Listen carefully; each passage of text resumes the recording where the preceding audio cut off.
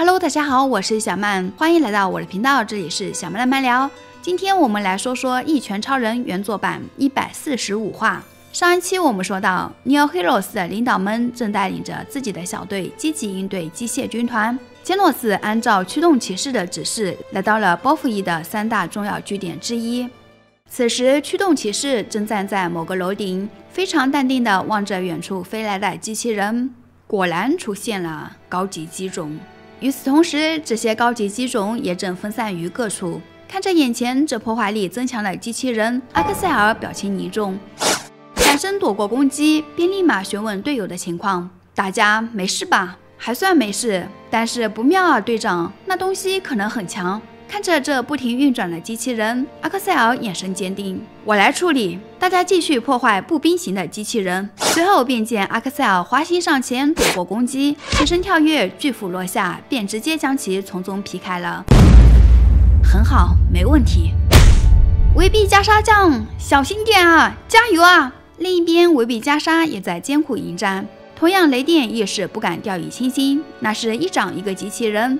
推涨的风压波对付他们足够有效，一鼓作气上啊！别让他们继续嚣张下去。只见相扑力士们群情激昂，相比于此，城市另一端的 Blue 则有些吃力。拳击加压炮不断射出，遭到了尼奥总部的叫停。你战斗过头了，Blue！我叫你先回总部一下，有没有听到？你的体力要保存下来，用于对付最大的敌人。夫妻大人担心敌方是不是还有秘密兵器没有投入？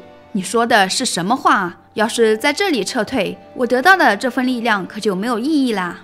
水溶大人是新敌人，我们被打得毫无还手之力。看着这漫天高级机种，水溶表情凝重。第二波吗？随后也是明体恐龙拳直接干掉了一波，就这程度，那么就算数量多一些，在尼奥队长的主导下也能歼灭。但是总感觉有哪里不太对。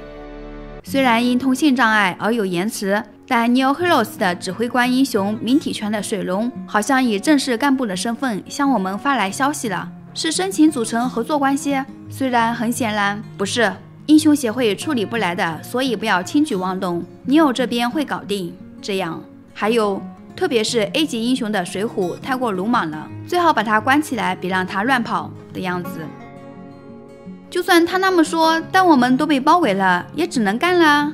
你有英雄明明完全没来帮我们啊，来了吧？你看这种包围网，从上空也会被击落下来呢，半径几公里都无法进出，完全是瓮中之鳖。听着大家叽叽喳喳的议论，水虎有些绷不住了。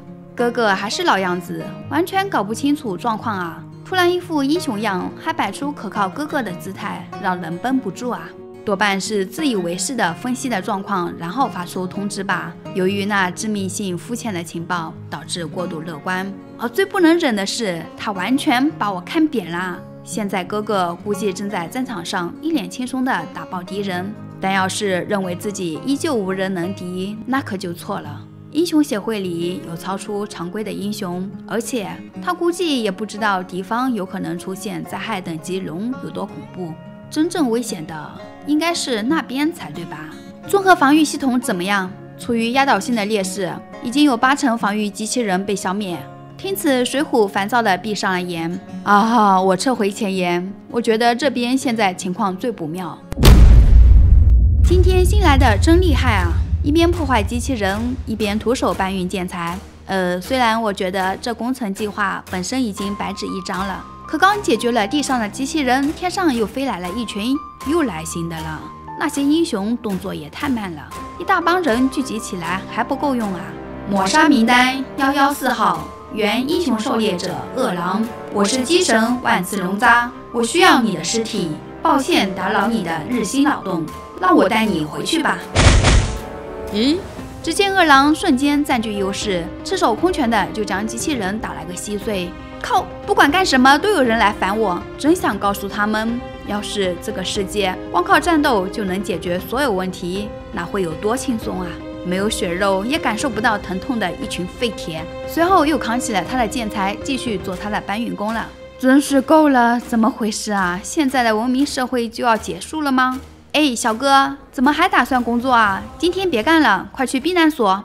奶奶，快点，走快点啊！快跑呀！真是的，至少跳两步走吧。奶奶膝盖和腰不好呢。不要说不行，要超越极限呀！生命危机关头，拿出点拼劲冲刺下。避难所就差一点了。小波，要是有什么吓人的来了，你就跑，不要管奶奶。奶奶求你，我才不跑呢！为什么没有人来救我们？英雄呢？肯定会来的。S 级英雄呢？你要队长呢？要是避难所被袭击了怎么办？肯定是按顺序救助。到时候就会来救我们的，肯定没事的。呜，换作是铁锹人，只要有小孩在哭，他就会赶来的。我说：“奶奶，小波，快逃，快逃啊！”我不要，小波，快点跑，不要靠近奶奶，不要管奶奶了，不要，我不要啊！变身，只见一个锹形人站在了小男孩身前，正义执行，真的有啊！铁锹人是真实存在的，都是真的。真正的英雄，你才是英雄。要是你想见到真正的英雄，你就去成为那真正的英雄吧。要努力变强哦。嗯嗯，好了，快去避难所吧，路上小心啊。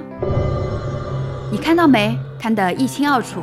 喂喂喂，那个拟态能力不会错的，居然能在这种地方发现他，简直是奇葩啊！果然我们运气超好，高兴的我都开始发抖了。维比加莎抛下我们这些队员，擅自单独行动，这是精心安排，要让我们成为全新的超级巨星啊！那混蛋又在搞什么山寨英雄活动，妄想着东山再起呢？名副其实骗小孩的现行犯啊！死心，死心！他是真以为改了面貌就能重启人生吗？垃圾怪人，内心也太丑陋了吧！而这群人正是 Neo 微碳酸 boys，就让新时代的偶像我们 Neo 微碳酸 boys 来狩猎你这你太怪人原甜心假面。好了，以上就是本期的全部内容啦。如果可以的话，请帮忙点赞、评论、转发支持一下哦，谢谢。那么我们下期再见，拜拜。